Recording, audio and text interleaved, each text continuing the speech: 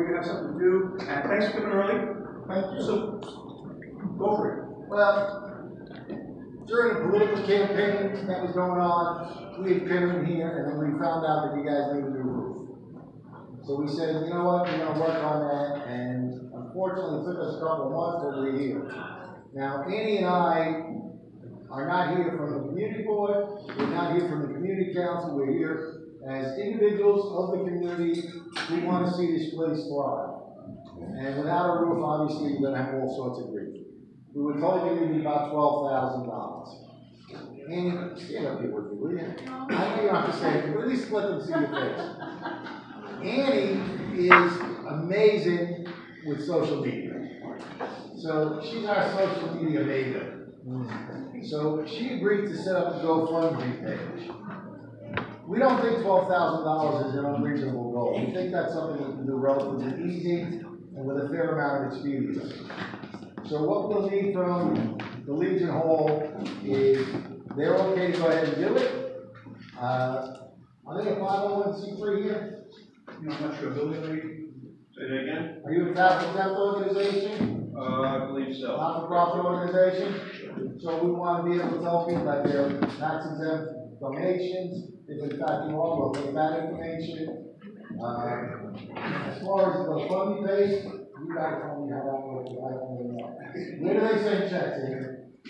No. How do you do it? Excuse me, online. Everything's online, through credit cards, credit card, you can set on an account, through GoFundMe. They would go Come to the Legion section. They would have to, Okay, so how to do are you? So once we have the background information, we'll work with you to get all that done. Meanwhile, we want everybody to reach out and say, hey, we set this up. You know, put it out everywhere. Yes, uh, I'm Cecilia Raymond. I am actually a union carpenter for the New York City Council Carpenters, and we do volunteer projects. So I'm pretty sure they would love to help out in this. So all you need to do is provide materials, we'll provide labor. beautiful, whatever we can get. We can, uh,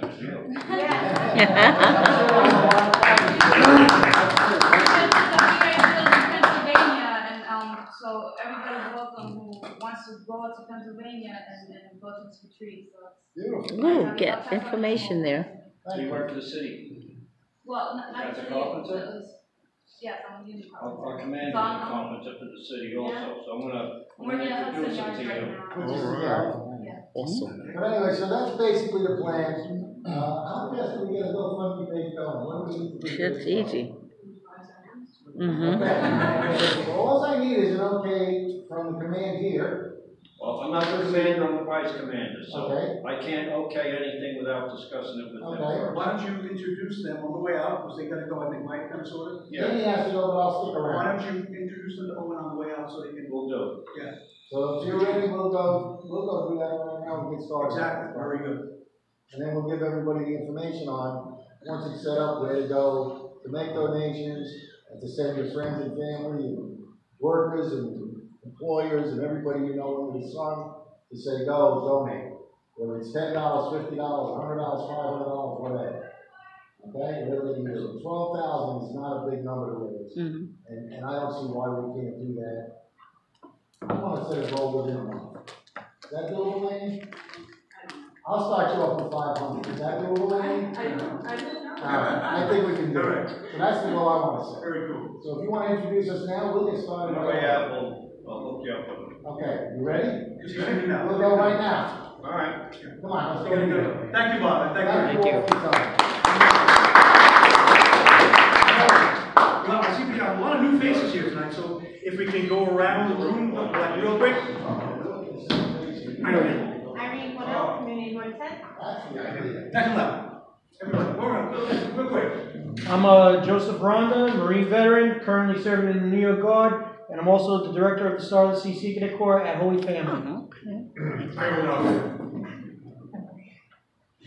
How you doing? I'm, I'm Bob Hickey. I'm a army veteran. Um, just coming here to check out what's going on with, uh, everything. Always welcome, thanks, man. I'm Sal Russo, actually, I'm with Community Board eleven, but, you know, we're all in the same city. This is how I feel, you know what I mean? And we should know what's going on with other members. You Be familiar faces, put a name to the face and a face to the name, Mhm. right? Jeremy runs your shop there? Yeah. Yes, Mhm. yes. Thanks, Tony. Efren Gonzalez III. I am a uh, veteran from the Army, and I'm a member of Sam Young Post. And I also am a delegate for 1199. I work at Montefiore. Mm. I'm not standing up. Uh, Grace Lavaglio, I live in the CB eleven, uh, district, and, um, like Sal, I like to get around and, and see what's going on in the rest of the neighborhood, so we can, uh, I mean, I'm on Facebook with most everybody anyway, so it's finally, it's nice to put a, a face to the name. My name is Javier Castro, um, Army ROTC and New York Guard for six years. And Tony, I have two announcements. Do I do that now or do I do that later?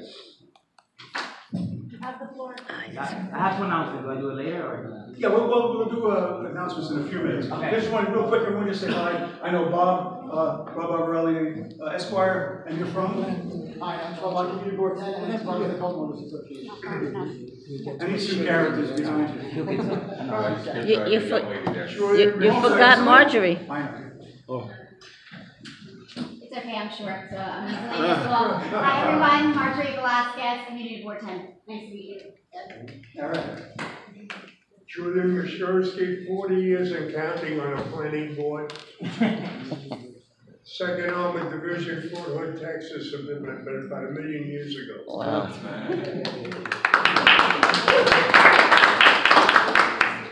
We got Joe, we got New York Metro Vets here. Joe in the house? So so that's, that's, It's that's the number one son. controller's office. Number one Go son. ahead, tell him. I'm also Julian Mashurski. He's driving him.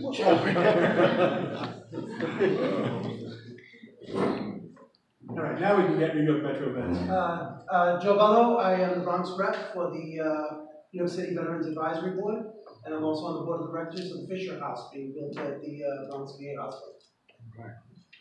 Keith Rivera, Department of Veterans Affairs, uh, Vet Center Regional Counseling Program, uh, Bronx and Queens. Right. Hi, I'm Alan Gottlieb. I live in Edgewater Park. I am part of the Bronx County Board for the Green Party. I'm here with Deborah, which can speak for herself. Um, I'm Deborah Rosario, I live in Community Board ten, and, um, I'm also part of the Green Party. Great, thanks for coming. Guys? Uh, my name is Kelvin Sanchez, I'm, uh, community liaison for Office of the Assemblyman Brian Barnwell, District Thirty. My name is Steve Camilo. I'm a twelve-year Army veteran, and I also work with uh, Assemblyman Brian Barnwell down in District Thirty as well. Thank you, sir. Hi, my name is Eva Hines. Um, I'm a New York Army National Guard veteran. Uh, represent, uh, Veteran Voices newsletter. I live in Community Board seven. Yes, and I'm here because I'm getting more involved in community service. Great, thank you. I'm Norman Smith, Vietnam era veteran of the Marine Corps. I'm in Community Seven, and like my associate here, I'm the president of Veteran Voice Newsletter. And curiosity got a hold of me, and I'm here to see the end of it.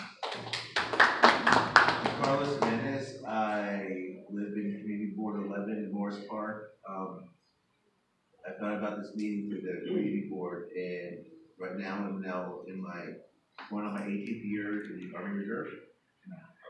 And you remember post nineteen, right? Yes. Great. Hi, I'm Sue McMillan, uh, six-year Navy veteran. Um, I live in Community Board ten, and Tony's been bugging me to come from here. Now, Carmichael, what's up with you? Oh, uh, again, I'm, I'm Cecilia Bias Raymond. Um, I am an Army uh, Reserve veteran, uh, 1995 to 2003. Um, I'm resting my head in Kingsbridge right now and uh, looking to settle down in the Bronx, possibly in a home for me and my family. Uh, uh, they, in my union, they stress, you know, be part of the community board, you know, get to know, you know, what's going on, what projects are coming up. So, um, uh, even though I'm not part of the community board, I, I've attended some meetings, but I like to get more involved. And, um, like I said, we, we do a lot of uh, volunteer events, so, uh, uh, also I'm part of the Latino Club for the Carpenters and part, a member of the New York City Veterans Alliance. So they help write policies for veterans, so, um, happy to try to. Yeah, we, get as we, we found that, um, we found that it's, it's a great resource that, um, the guys can come and fix something and they get their credit for it, they get their check off on their, on their room for their union part and all that stuff. We've done it with part the bricklayers, painters. Thanks. I'm sorry, you need Want to jump Carlton like that? Evening, everybody. Chief Francis, Vice Commander of the Colony Club, Theodore, and I am uh, Allerton resident and candidate for the 80th Assembly District. And head of the Allerton Avenue. No longer, I resigned from the, but I am the founder of the Allerton International Emergency Association. You got it. I know. Uh, Carlton Lee, I'm not a veteran, sorry, uh, just here solo support from, uh, friend here, Chief Francis. Uh, like to hear all of your stories. Great, thank you. Lonnie Woods, I don't know why I got on the. Thank you. Usually, just to let you guys know, usually we have meetings, uh, community board has their meetings at the, board office. There's like eight chairs, ten chairs. Um, I feel here we have a, we wouldn't fit in the board office tonight. Number one, we say thank you so much. Uh, number two, maybe we can have some fun afterwards. So, um, thanks for coming by. And I guess we can go around and do, because I know some guys have some projects they want to speak about. Um, Mind if I start with one real quick? Let me start with one, because I'll forget. I want to give you guys most of the time. I want to get this out of the way. We have found this out, the American Legion Department of New York doesn't, doesn't support a lot of stuff. They don't do anything about lawyers. Okay? And, um, but this, I have a couple more left over there. This is a, it's called Reconsolidating Traumatic Memory. And what happens is, when you go to the VA hospital, they got a plus or minus thirty-five percent success rate using drugs. Okay, and as you know, from what, the other things that happen in our community, when you drink or you do drugs, the next morning you wake up and it's still there. Okay, um, plus or minus minus thirty-five percent with drugs, not very good. Plus they give you a nice big bottle, so if you want to kill yourself, you can kill yourself. Uh, this Dr. Frank Bourke, re, RTM, Reconsolidating Traumatic Memory, I'll have to simplify it for you because I'm not- a psychiatrist but ninety percent success rate without drugs after four, five, or six visits. Wow. And basically what they're doing is they teach you to retrain your brain. Mhm. So if you see, um, you know, so if you see a fire engine, you don't say 9/11, all the buildings collapsing, all that crap. You see a fire engine, you say, wow, the good guys are here. And they teach you how to do that. Uh, one guy who presented at uh, the American Legion Conference in Albany, um, he was in the 64 earthquake in Alaska. Wow. 1964 earthquake in Alaska. It was 9.9 on the Richter scale, which is the same thing as an atom bomb without, Mhm. without radiation. So, I mean, he saw like school buses getting crushed. It was horrible. And he had a whole life of fighting, uh, drinking, fighting, punching the boss, punching the just totally, a total mess. And he went for this because it's it's not down here yet. Hopefully, it'll get down here to the Bronx. Um, it's not down here yet. But it, it, it, it's hope. It's not a cure. There's no such thing as a cure. And they take the, the D off disorder, post-traumatic stress disorder. This is not a disorder. It's the real thing. If you see something that happened to you and you see it again, it, it's, it's normal. So I'll leave these pamphlets out here. It's not down here yet, like I say, but please pass this around. Google it. Knew Google it? Google it, search it. It may be very helpful to something that you know. Okay. Um, Okay, I just wanted to get that out there you guys, because it's very important. Um, you know, a lot of our guys, right, what happens to a lot of our guys? Drinks, drugs, and that. Right, so I have a few more of these left. These back. Okay, so, um, just walking in the room, we have uh, Peter Debner from, um. Uh, and I'm gonna go out of order because he just came in, but I know you have something to report to, about. I have several things to report about. We were, speaking at the, the Bronx VA, we're so fortunate to have VA in the Bronx. Um, we have a problem with the golf carts, Hmm. Um, we have a problem with parking because of Fisher houses, which is, if you guys don't know, the Fisher houses, uh, the Bronx VA hospitals, and this is Joe's project, one, of one, and you know Peter, obviously. Um, there's no place to stay. If you have to stay with somebody, a loved one, what do- what do they charge, two, three hundred dollars a night? Whatever? Fisher House is like a Motel Six, where you can stay, you're on the, on the grounds, because they're doing kidney transplants at the VA hospital. Hopefully it'll be the regional, am I correct? It is the region, it is the regional kidney transplant location. I mean, you got the guys going to the hallway with, with the things, you know, serious stuff. So, um, that's why Fisher House is there, because the Fisher family is from the Bronx. They give us two houses. So that will do good, except it kind of ruined all the park. Oh, yeah. Kind of ruined all the park. Now, the VA cops are not gonna give out tickets, but they kind of ruined all the park. And then that brings us back to the golf carts, which we're gonna talk about, which is a problem. And I'll be quiet and let Pete say something, and then Joe. Together, because you guys work together on your, your VA stuff. Pete, you wanna go first with me? First off, I want to apologize for everybody for being late. Uh, let me just refer to some notes, so keep it clear and concise. Um,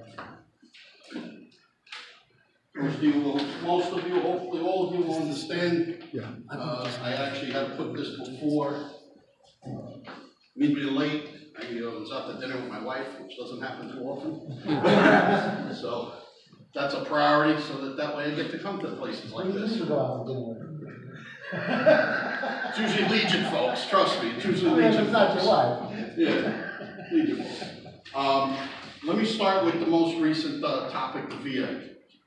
Uh, a couple things. One, uh, yes, we are getting these, uh, Fisher houses. Uh, we get, we're lucky enough to have Ken Fisher being a former resident of Riverdale, the Bronx. So he's going to give us not one, but two Fisher houses. Each house holds approximately let's say ten to fifteen families. Wow. So it's like a hotel almost. Um, no, I don't recall, I, I recall some locations in the United States have received a second one because of volume, but no location ever got two, uh, upfront.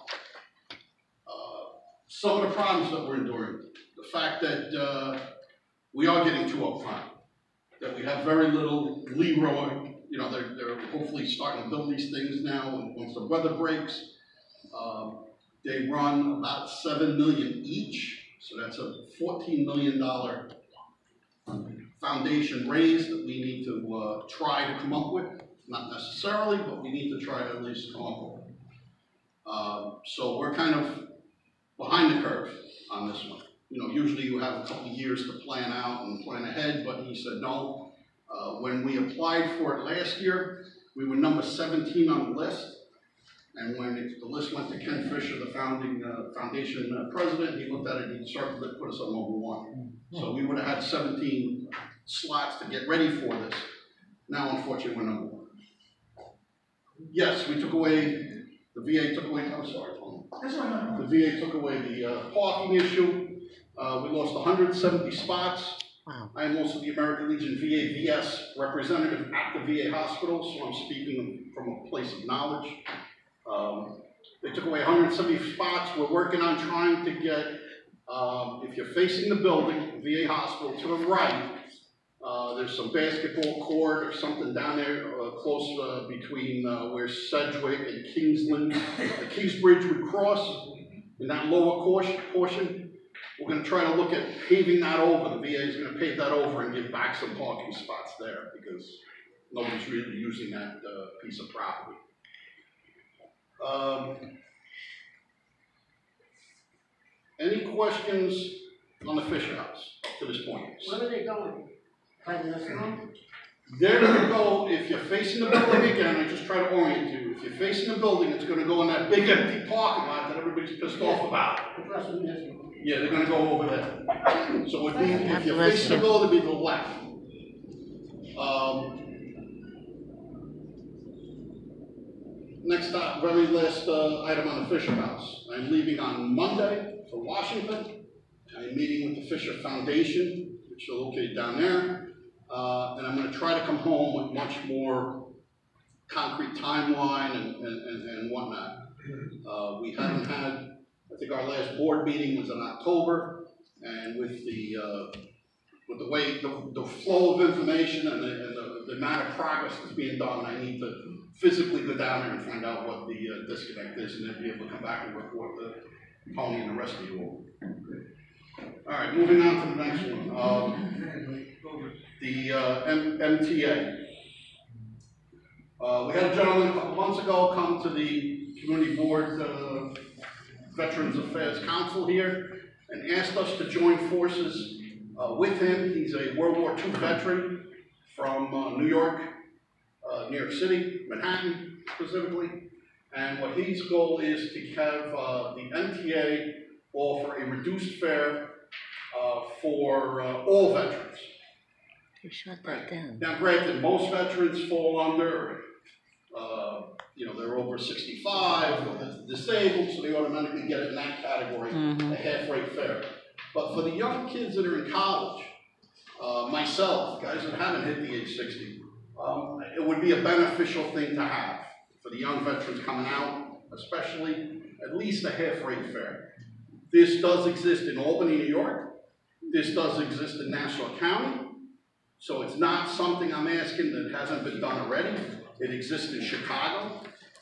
So, uh, uh, what I did was, I prepared a letter and appeared before the MTA board, chaired by Chairman Joe Lhota and his entire board, and testified as a post commander representing two hundred people for post one fifty-six on City Island. So I did a letter, submitted it, expressed why I wanted it,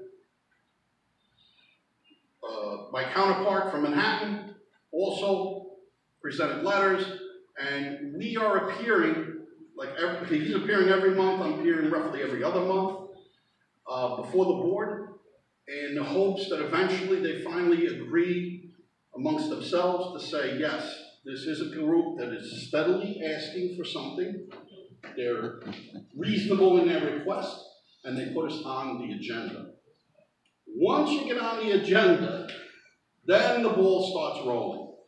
Then, once you're on the agenda, then you can testify directly to the, even though you're in an open forum, uh, it's like somebody coming in, like myself, and just talking, but you then have a little more, uh, what's the word I'm looking for, what's the? Cloud. Thank you. A little more cloud.